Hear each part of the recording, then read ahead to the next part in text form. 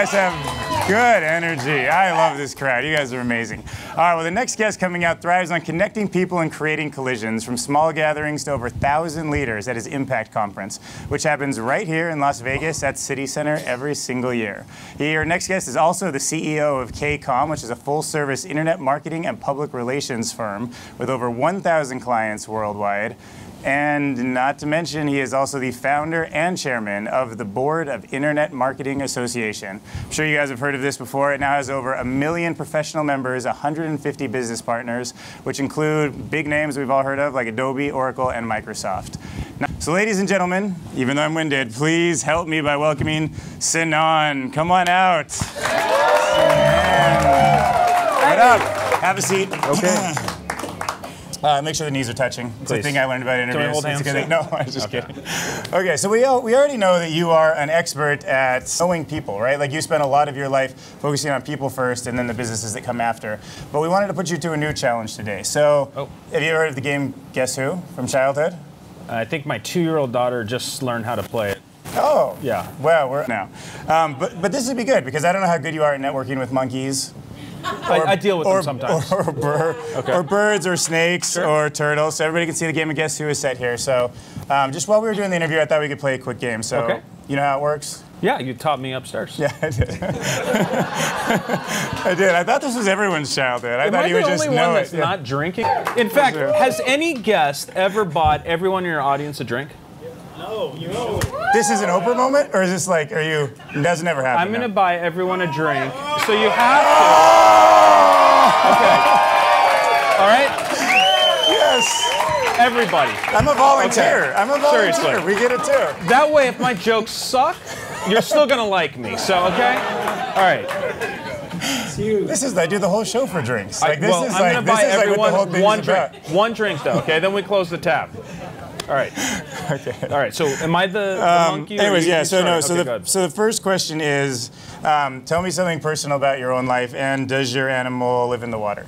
So like let, let me just see. You know, I see an animal here that I'm going to call out. You know, and and it reminds me of what I've had to go through in business because there's a lot of these sort of animals out there that are Oh, trying okay. to attack you.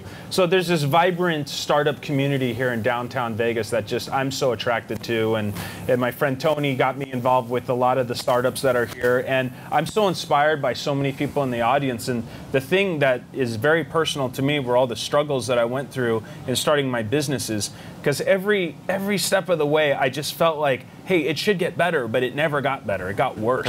And it was such a hardship. Closing the doors. yeah. And so with that it, it's it's nice to kind of be at a point now where some things have gone right and all I want to do is kind of give back and help anyone who's starting up a business down here in downtown Vegas or if you're part of a business and you feel like a door is shut on you and you're just looking for an outlet for leadership or just connections to people um, I want to be your outlet and so that's something that has become a passion of mine Yeah. and so based on the people that were trying to attack me can you guess what animal that is Oh, okay. Well, the fish. I think he's out because he's in water, and you don't spend much time. You're a bowler, right? Yeah. You said you, that was one of your Yeah. passions. You like bowling on the side. Bowling, as in Um, not like legalized marijuana. I'm talking Yeah. about like spin. Whoa, I yeah. I know, usually am thinking in the gutter, but I'm wrong. anyone to the nearest bowling lane, and I'll play you one game. All right. And if you beat me, okay. All three of the dogs are too happy. The snake is definitely in the running. That, That bird is the in the animal running. that oh, I was it. There's so many snakes in business. I'm sure you guys are dealing with that. Look, I'm not trying to get philosophical, but you know what? Just the snake. I just closed this guy out. I've never even played this game, so I guess I won, right? But You did a good job. Did I You mention I'm buying everyone drinks? Is this interview over yet? But seriously, there's a lot of snakes out there that try and take you down in business, and that was one of my greatest hardships. Yeah. Where they're just getting attacked over and over again. And you know, if you're honest, you're integral, you do the right thing, everything always works in your favor. Maybe not in the short term, but long term, that integrity is very important. And just Okay, so, so okay, so building off, building off that a little bit, there, um, I've definitely started noticing sometimes in my life when connecting people it helped me a lot more than I would have thought it would. Right. Um, but I, but there's always this sort of struggle in your head, is especially you're putting together these events with extremely high-powered people. How are you rating? Only so many people can fit at the table. How do you rate them without feeling sort of inhuman and not measuring net worth and things like that? Like, what are you using to make sure that the right people get together and You know, I just kind of think of everyone's like naked in showers, right? So like, Oh, Okay, hey, yeah, we all have to naked deal with reality, right? We're human beings, so there's really no judgment on someone's influence or how high they are on the totem pole. It's really Right. the feeling that you have, and some people are billionaires, and some people are, are you know, completely broke. Uh, but the reality is, we're given one chance at life, and you want to make the best you can out of it. So when we bring leaders together, you know, I just think everyone's equal, and that's why at our conferences we'll have the very top multi-billion dollar companies and their top CEOs, but we'll also have a startup that's inspired by that CEO sitting at that same table and connecting ideas and helping each other grow.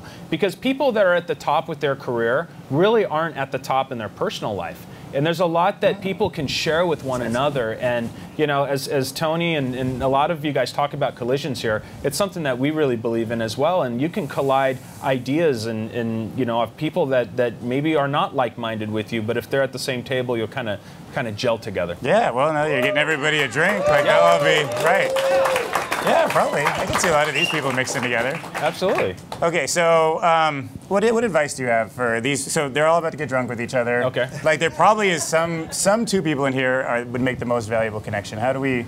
What, what's the advice to help that happen? Yeah, you know, just treat people the way you would want to be treated and, and listen more than talk. My wife taught me that, you know, because I would always be like looking over people's shoulders to see who I can network with next. But sometimes it's better to just walk into a room and stay in one spot and really focus on that one individual and have a deeper conversation and build a deeper layer of trust because that will layer into all sorts of other benefits. And some people will recognize Yeah, you and come sense, to yeah. you. So that's one of the things that, that I've learned is, is just listen more. Uh, and then teamwork, you know, work with people. Don't try and own and control all the power or influence in a situation. Really try and share that and recognize that person and say, hey, you're doing a great job and you should be recognized for it. And try and give them recognition within their business and don't take credit for it. And like a boomerang, it'll come back. It's called good karma. It's happened to me multiple times. yeah. And you know, if you really just focus on doing the good for people enough times, it's like gambling out there, right? You hit enough of those numbers on roulette, one of those numbers are going to hit. It's going to pay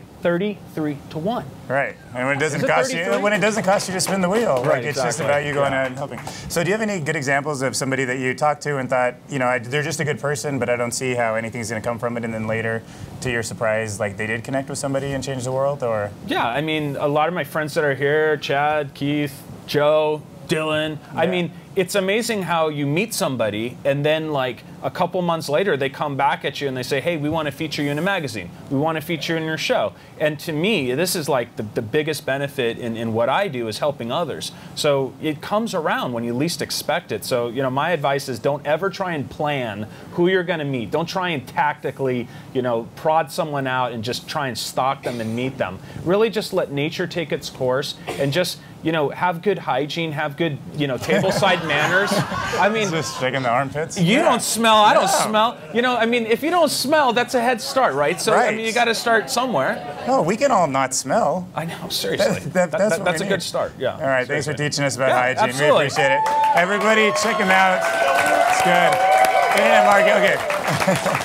okay. Before you, before you, before you totally run off, tell them what, what, tell them about the conference. Tell them every place we can do it here in Vegas to help you. Right. So we have had impact here in Las Vegas for the last six years. It's at ARIA. This year it's September 23rd through the 25th.